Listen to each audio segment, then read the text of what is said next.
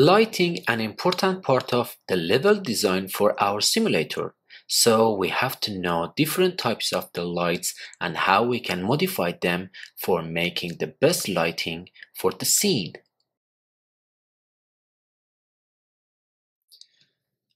Alright, in this step we want to talk about a very important part in the Unity. It's called lighting.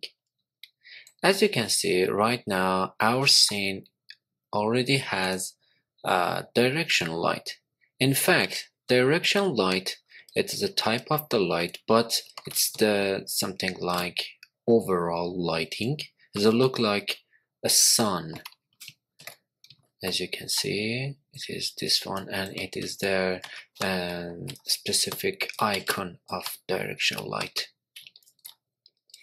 and uh, if you change the direction light angle you will see it has and all the scene will change. Something like that. And as you can see the skybox of the our sky uh, has been related on the direction light angle. And we can create sunrise noon and sunset and night. Okay and also it is the same for this one as well. And for this angle it is the same. Okay uh, now we can remove this direction light and as you can see our scene is dark and we don't have any lighting. Everything is dark and black. So uh, for adding uh, uh, a new direction light to our scene we need to come to the game object. And we have another section. It's called light. We have sev uh, several lights in here. Direction light point light, spotlight, and area light. In this clip, we want to talk about direction light, point light, and spotlight. For example, right now we click on direction light. As you can see, we, all, we have the uh, direction light in here. The position of direction light, it doesn't matter, as you can see. If I change the position, nothing changed in our uh, scene, but the angle of it is important. Let's talk about the component, the lighting in uh, the inspector once we click on direction light. Uh, we have light component and it has type. As you can see, we can change the direction light to point light, spot or area. We don't change it in here. And we have a color parameter. Uh, the default color of this direction light or that sun is gray something. No it's white sorry. Uh, we can change the light and add any light or uh, hexadecimal uh, color code in here. For example we can create a very hot noon. Or we can create a very beautiful sunset or very dramatic scene. As it look like the freezing area? Or I don't know it is something like uh, sci-fi or aliens scene in our in our area. Yeah we can create any uh, atmosphere for our scene with the colors lighting or it's black. Okay, keep it on the uh, white.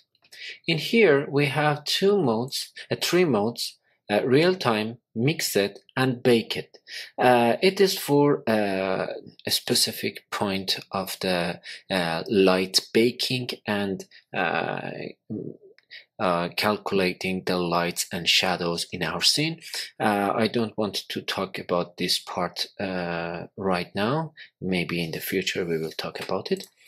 And in here we have intensity. In fact, it is the in intensity of light, light's photons in our scene. For example, we can decrease the diversity of it or increase it something like this also I need to say we can have uh, several direction light in one scene. For example uh, this one for this angle and we have another one. That's two.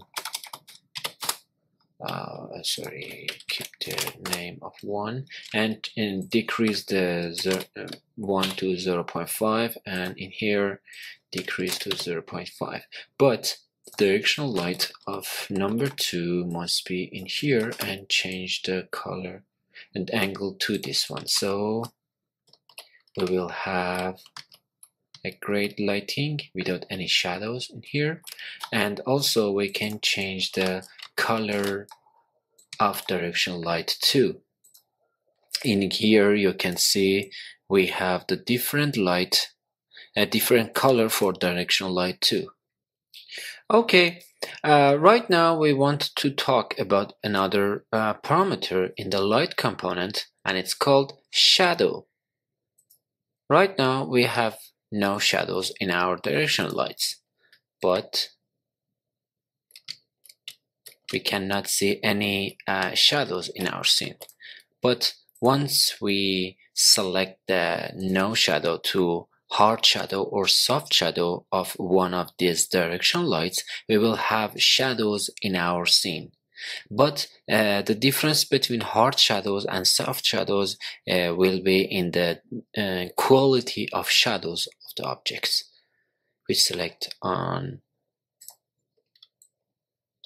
hard shadows. As you can see it is the uh, shadows of trees. Some objects uh, already have uh, shadows and some objects not. It depends on the settings of that objects and the mesh renderer of them. And we will talk about this uh, parameter how we can uh, check on the shadow for one object and how we can disable it for another object. And in here we have a lot of shadows but it's take uh, huge part of our performance. So I uh, it's better for optimization to change the shadow type from hard to soft. As you can see they are very smoother than uh, hard shadow. However in here we can uh, change the parameters of real-time shadows for example low resolution medium and very high but I think the medium is good uh, for us. I don't want to enter to these ones. Perfect. Also, we can add some shadows for another directional light. So we will have two different shadows of our object. One for directional light, one and second for direction light 2.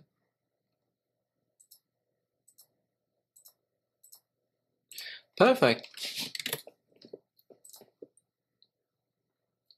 Uh, another parameter is cookie and flare. They are very uh, beautiful effects for which we want to uh, once we want to add some uh, sunshines to the position of this uh, our direction light as a star or as a, the sun uh, we can add them to these parameters. Right now I don't have it so I cannot show uh, perhaps. No I have not uh, these ones. And in here uh, we can change the render mode to uh, auto important or not important. It is another parameter for uh, light baking. And in the culling mask we can say okay uh, the sun and the lights of it uh, the directional light and the lights of it uh, will work on all the objects in our scene. And they in fact in the culling mask we can say okay direction light will not work on uh, I don't know for example mm, water. It will work for everything except water. So we can change the terrain layer from default to water. And as you can see, the lights, uh, the direction light 1 will not work for terrain. It is the light of direction light 2. The direction light 1, it's only work uh, works for other objects except our terrain because we say uh, it is uh, not works for water and our terrain layer is water. If we change it to default, it will work for it. Perfect. It is the overall and simple things about the uh, direction light.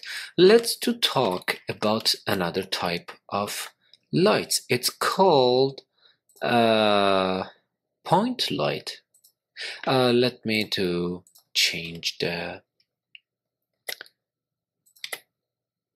directional lights and here change the color oh yeah keep it perfect and it is our point light As you can see, it is the range of the light and also uh, the uh, uh, important variables of this one. In here, we can change the range. As you can see, it is right now, it's much more efficient. And also we can change the range from here as well for better editation modification. And also it already has the color look like the direction light. We can change it to red or something else I don't know. For now red is perfect for better understanding. And also it has intensity something like this.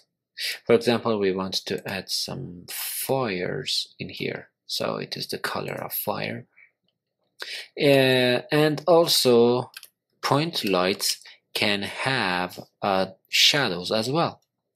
Look like a direction light. Look at this. This part is the shadows of this point light and if we add some uh, animations or movement system to our point light or even the point light is attached to our object as a child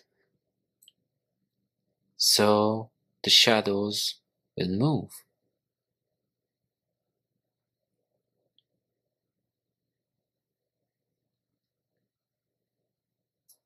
Perfect. Another thing of the point lights, it is and they are exactly look like the direction light. For example, culling mask and flare and cookie.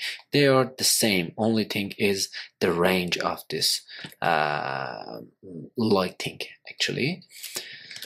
Another important light is spotlight. A spotlight is a look like the spot. Flashlights of the mobile. It only works in this range, not here, not here, not here, not here. Only in this circle. I'm increasing the intensity. Look at this if I move it to here I change it's better understanding perfect if I change the range.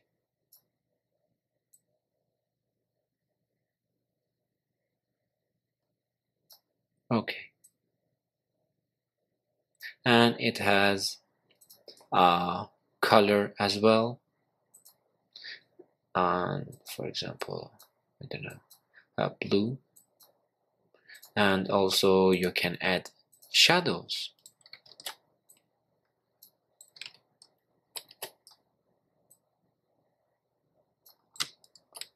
it is the shadow of our spotlight